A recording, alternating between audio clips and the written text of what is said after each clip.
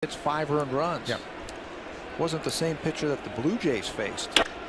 Yunel Escobar drives it toward left. Bravo looking up. Home run. You can't keep him down for long.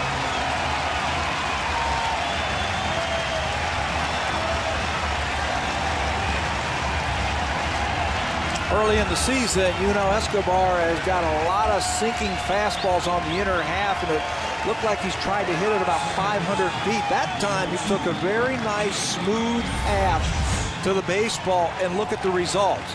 Sinker on the inner half, and Escobar with his first home run. That's a beautiful thing right there, deep to left field. Another, no doubt about it, to left.